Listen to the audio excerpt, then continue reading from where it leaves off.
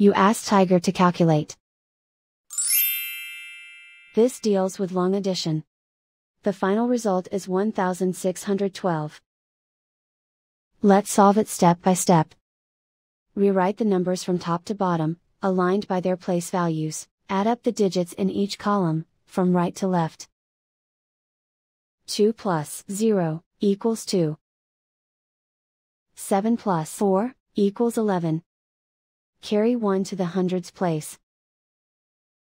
1 plus 3 plus 2 equals 6. Write 1 in the thousands place. And so the final result is 1612.